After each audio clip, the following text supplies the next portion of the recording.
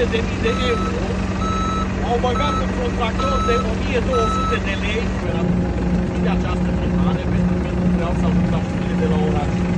Eu sunt un om cu familie mare care mă așteaptă ziua acasă, nevastă mare copila, soție, ferești. Bine, mă dau jos, tractorul este intact, n-am făcut niciun porcărie. Haide, domnul, și ia tractorul.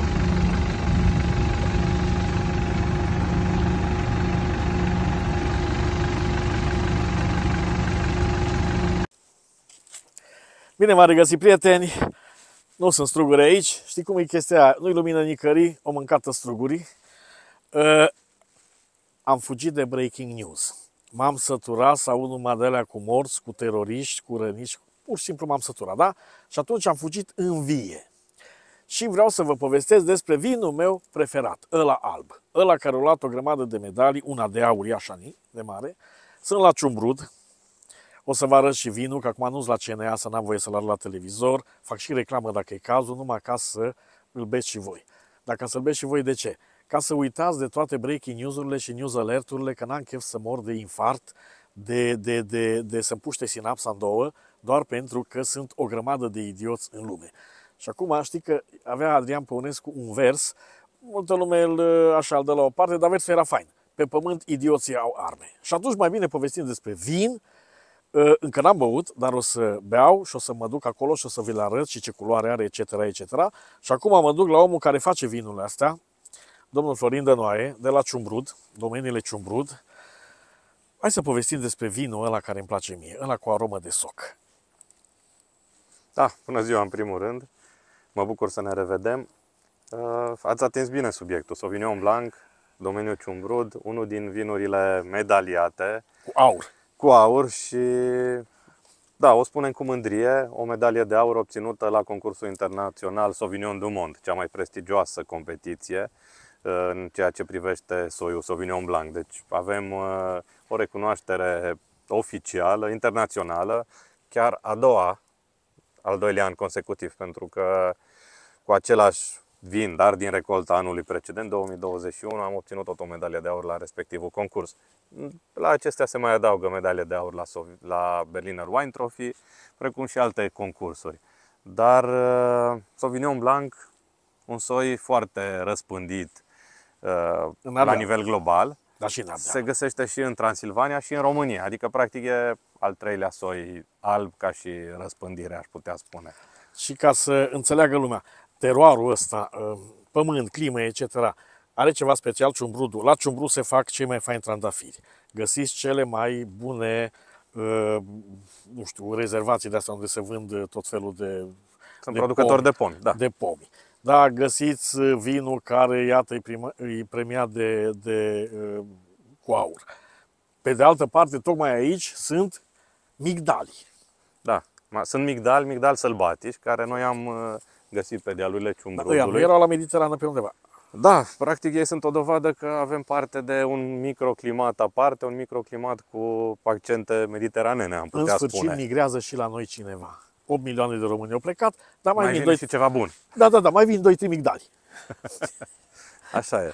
Și revenind la teroar, că tot ați pomenit de teroar, noi considerăm că teroarul nostru, Arzone, este um, migdalul, migdalul verde, gustul, amăreala ce poate fi asemănată cu cea de la migdale. Aftertaste-ul ăla așa exact, foarte unul fin. foarte lung, fin, dar uh, care poate fi ușor uh, regăsit, deci ca și cum ar fi amprenta noastră. Dar de unde e, de unde e senzația așa, așa un fel de, de en passant, așa, uh, un pic de soc parcă vine? Practic, uh, Sauvignon Blanc are ca tipicitate, deci vinul școală, cum spunem noi între producători, are acest uh, tip, această aromă, acest miros de flori de, de soc, iar um, pentru noi a constat o, într-o mare provocare să reușim să uh, venim cu un Sauvignon Blanc de tip lume nouă, un Sauvignon Blanc în care aromele primare să fie foarte bine fixate și foarte bine prezente, încât uh, consumatorul de când miroase paharul de vin să recunoască sortimentul, să recunoască că este vorba de un Sauvignon. Sigur că aici foarte important a fost uh, plantația, practic uh, plantația de Sauvignon Blanc, deși înainte era cu Gros Sauvignon, am înlocuit clon, avem Petit Sauvignon, un Sauvignon mult mai aromat. Ceea ce se regăsește până la urmă și în pahar. Cantitate mai mică, dar calitate mai mare. Așa este. Înseamnă ceva că între Mureș și între râul Mureș și dealul ăsta se face ceva cât de cât o bulă de asta care e numai bună pentru, pentru Sauvignonul ăsta. Adică, Ma, nu, așa, să, așa ne place să credem. Bine, nu doar pentru Sauvignon, ci pentru întreaga regiune până la urmă. Practic avem Mureșul la câteva sute de metri de noi și avem și pădurea pe vârful dealului. Cumva suntem uh, feriți de curenții reci din timpul iernii și chiar am fost feriți și de multe alte intemperii anul acesta. Bun. Uh, acum întrerupem puțin emisiunea pentru că mergem la o masă unde o să vă arăt cum, uh, numai cum arată, da? Și o să miros în locul vostru și o să gust în locul vostru, da? E un vin beton. Adică ăla e preferatul meu alb. Da? Albul ăla, știi că zic că albii nu știu să sară. Ba știu să sară direct în papirele mele gustative. Asta e sticla, da? Așa arată. Și vezi ce fain scrie. Rod de Transilvania altă viață, nu? Acolo avem o biserică de asta veche, da? adică e, asta e Transilvania Air Daisy Bembergen, ca să înțelegeți. Și aici, dacă vrei să înțelegi ce înseamnă Transilvania, trebuie să bei. Dar oricum, după o sticlă de asta, înțelegi ce înseamnă și Alaska. E ok. Hai să ne punem. Mie culoarea îmi place la nebunie. Culoare aurie. Culoare aurie, culoare tipică deja pentru un vin vechi, pentru că vorbim de un vin vechi deja, pentru că vinul nou e cel care e în tancuri din recolta anului 2023. Exact. Deci, deci practic, clar... vinul e tânăr în primul an. Când deja urmează a doua, adică următoarea recoltă, din tânăr devine deja vin vechi, vin de un an. Deci trebuie băgat în tancuri, nu mai merg legendele alea că vine nu știu ce fată mare, oricum nu mai găsești, da, și vine și cu picioarele goale și vine un pictor și o pictează, se văd pulpițele și stau toți ăia la horă, săraci, tremurând acolo de dorințe. Nu, tată, bagi în tancul de inox, ai băgat tehnologie și ai făcut calitate. Hai să vedem, hai să descriem fiecare să vedem ce simte. La mine e buchetul ăla de soc, ăla care nu-mi dă pace și face să-mi placă vinul ăsta. Un vin parcă uleos, asta înseamnă catifelare, așa? Da, partea de uleios uh, provine din uh, ceea ce se vede pe pahar, uh-huh. da? pe peretele paharului, cumva lumea spune că atâta timp cât uh, Atunci e bun. E, pare uleios, înseamnă că e alcoolic, e mai puternic.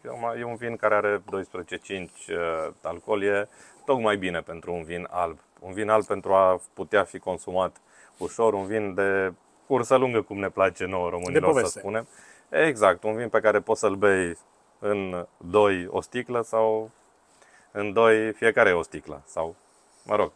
Da, în funcție de câte povești ai. Exact, dar e un vin care îți uh, aduce subiecte noi de fiecare dată, pentru că e un vin care merge foarte bine asezonat cu fructe de mare, un vin care merge foarte bine cu o salată, cu o preparate din carne albă sau, de ce nu, și la un desert. Un vin cu un ușor rest de zahăr. Să facă să sunt cumva să se apropie de microfon, că vreau să fie sunetul impecabil, să înțeleagă lumea despre ce e vorba. da? Un vin care, ceea ce promite în nas, se regăsește mai departe și în gust. Da, explodează gustul și după aceea rămâne un aftertaste, așa un pic, așa o nuanță de amăruie foarte, foarte nobilă. Un aftertaste, cum spuneam, lung. Uh, practic, uh, ceea ce discutam și înainte, un aftertaste care e mai lung de 20 de secunde, deci practic îl face un vin plin, un vin uh, foarte corpolent. Tipic nu. pentru vinurile cumva din Transilvania. Uh, lumea se sperie când vede struguri, e zic mucegăiți. Dar ăla e un mucegai nobil, am înțeles.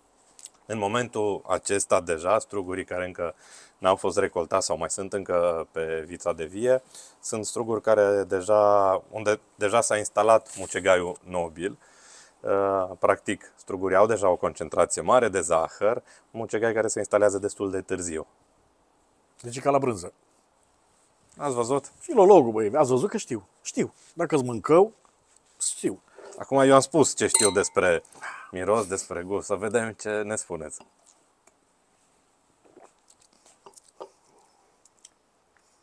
Bă, are o chestie de aia pe care nu o regăsești.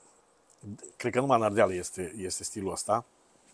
Nu-i pelin, e un gust de la foarte nobil, un aftertaste de la care rămâne așa ca un fel de, știi, când te uiți după o mândră, dar nu se uită la tine, dar te tot uiți la ea. Ceva în genul ăsta e vinul. Dacă era și roșu, era bai. Înțelegi? Dar e, are poveste în el. Și are, explodează pur și simplu și când explodează în gură, îți mai cere gura încă o gură. Înțelegi? Tot, uite, doamna săraca, vai, dar îi dau și ei.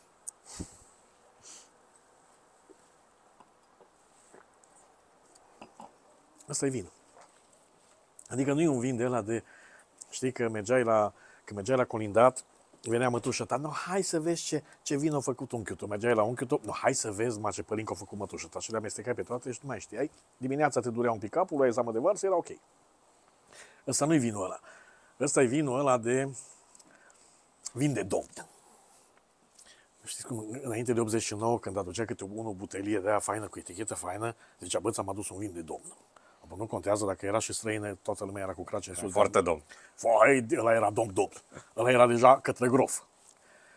Ăsta deja este ceva pe care poți să îl duci cadou prietenilor din Franța. Eu așa fac.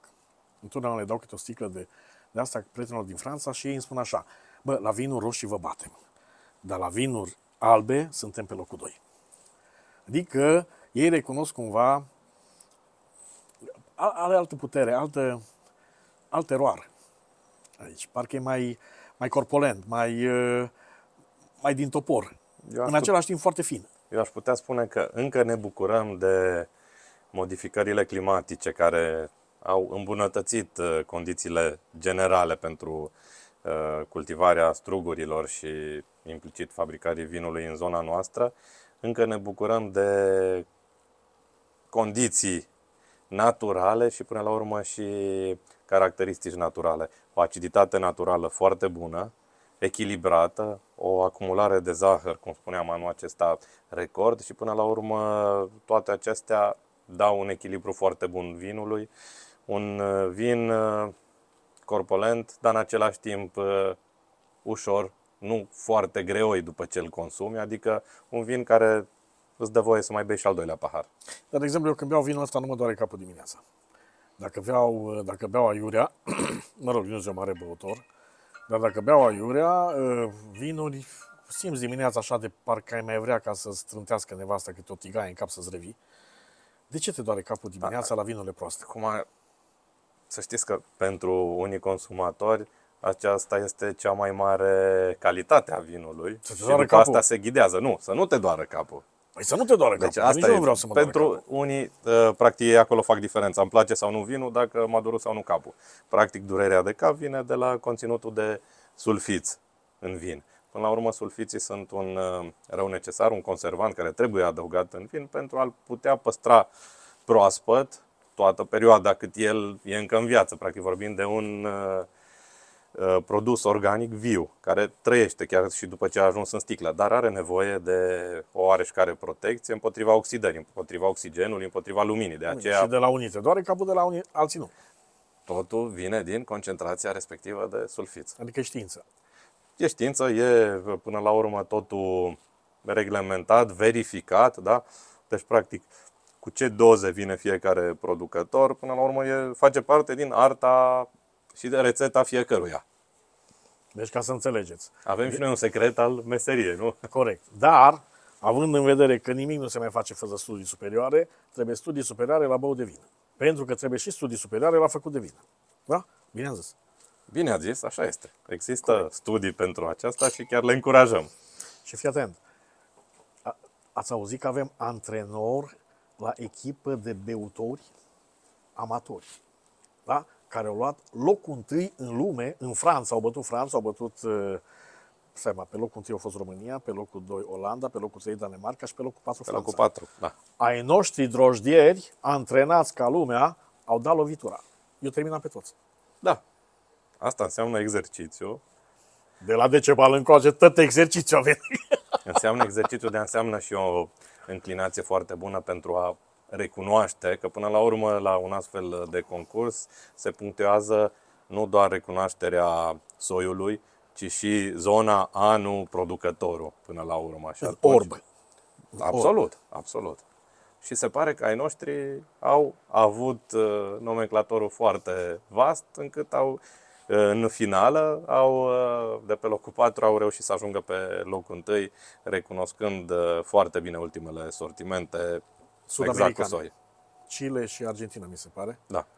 Eu aș putea să recunosc chestia asta și aș lua campionatul mondial dacă mi-ar da un Sauvignon Blanc, da, de ăsta de Nisec, că ăsta îl recunosc dintr-una pentru că acel miros, acel buchet, îți rămâne în minte. Constant, de la an la an, v-am zis, au fost câțiva ani în care uh, am experimentat, am dat rateuri, dar deja sunt trei ani încoace cu constanță în calitatea acestui vin.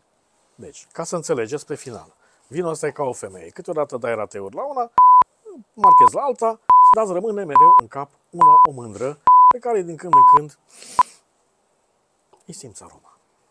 V-am pupilizat semnificativ. Uite, mâncui sufletul ei cum stă și mă așteaptă.